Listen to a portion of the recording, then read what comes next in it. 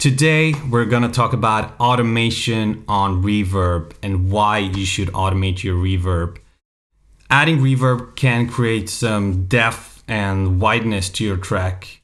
If you wanna take your reverb to the next level, you should automate your reverb to really get some more excitement and really increase the depth of your track. So, let me show you how I do it.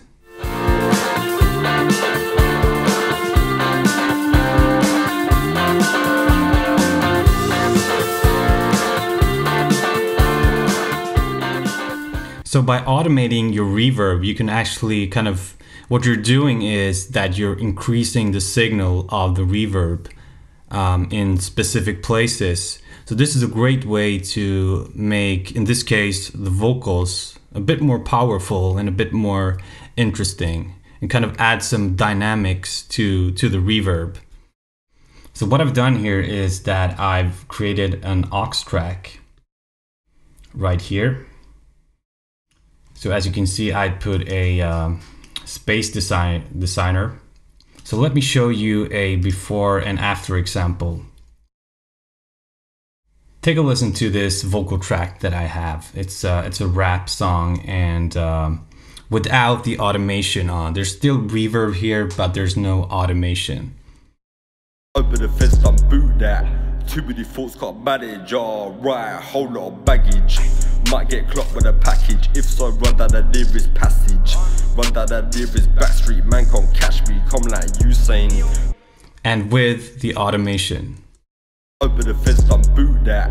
Too many thoughts, got manage, alright, whole lot of baggage. Might get clocked with a package, if so. Can you hear that? Can you hear that uh, the vocals sounds has a bit more ambience in it for like a second? This is what actually goes on.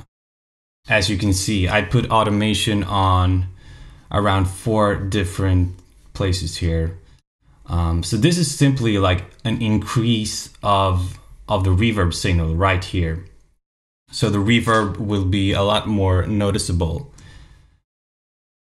So this is a great technique that you can apply to make the reverb sound a bit more alive and a bit more exciting. And if you're a beginner when it comes to automation, I definitely suggest learning more about this because you can not only apply it in this context, like on a vocal and kind of adjusting the reverb, but you can also but you can also put automation on panning and volume, things like that. So it can be really useful to learn automation and kind of tweak around and modify modify the signal and being able to get some more excitement to your track. I might do a video in the future where I cover automation when it comes to panning and things like that because it can be really useful and a bit tricky to understand, especially if you're a beginner. Let me show you another example where I put automation Told them a thousand times, tell them again, Super oddly that I'm lagging, bringing that bagging, wasn't it fattened? Up at the block and I'm scanning, default planning, man So you can see right here that there's an increase of the reverb signal and it just gives some more punch in the actual reverb and gives some more ambience to it. So try to experiment with automation and uh, try to increase the reverb signal. Sometimes you can reduce the reverb signal even if you feel like you have maybe a verse that is uh, that needs to be a bit more dry and you want to add some more wideness and thickness in the chorus. You could automate the reverb and increase the reverb signal in the chorus. Thanks for watching the video guys. Make sure to give this video a thumbs up and make sure to subscribe so you don't miss any upcoming mixing tutorials. See you in the next video.